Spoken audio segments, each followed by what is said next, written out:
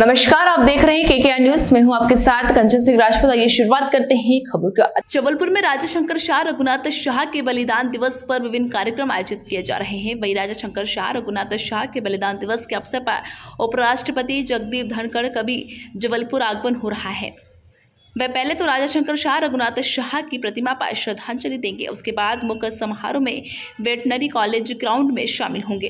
कार्यक्रम के संबंध में जानकारी देते हुए जिला कलेक्टर डॉक्टर अलिया टी ने बताया कि 18 सितंबर को उपराष्ट्रपति के आगमन को लेकर जिला प्रशासन के द्वारा व्यापक तैयारियाँ कर ली गई है। वही ट्रैफ़िक व्यवस्थाओं को लेकर भी अधिकारी को दिशा निर्देश जारी कर दिए गए हैं। वही उपराष्ट्रपति पहले तो राजाशंकर शाह, रघुनाथ शाह की प्रतिमा स्थल पर जाकर उन्हें श्रद्धांजलि देंगे। उसके बाद मुख्य समारोह वेटनरी कॉलेज ग्राउंड में आयोजित किया जाएगा। जिसमें बड़ी संख्या में आदिवासी एवं जबलपुर शहर के नागरिक शामिल होंगे। वही इस मौके पर विभिन्न कार्यक्रमों का आयोजन संस्कृति विभाग के द्वारा किया गया है। वही राजा शंकर शाह, रघुनाथ शाह के जीवन पर आधारित एक फ़िल्म का भी प्रदर्शन इस मौके पर किया जाएगा।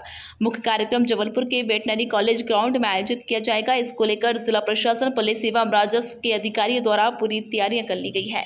जबलपुर से वाजिद खान की रिपोर्ट। महामहिम उपराष्ट्रपति महोदय का अठारह तारीख को है ना विज़िट है ना प्रस्तावित है। उसमें दो कार्यक्रम है ना मुख्यतः हो रही है।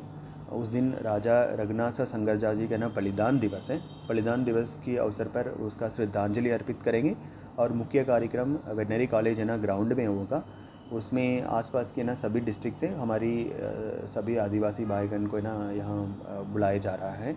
उसमें एक है ना, भव्य कार्यक्रम होगा, बलिदान दिवस के उनको, है ना, श्रद्धांजलि अर्पित करते हुए। एक संस्कृति विभाग के द्वारा एक सांस्कृतिक कार्यक्रम भी, है ना, रखा गया है और राजा रघुनाथ सर, है ना, उनकी एक फ़िल्म है, वो भी, है ना मतलब लोगों के समक्ष में प्रदर्शित किया जाएगा।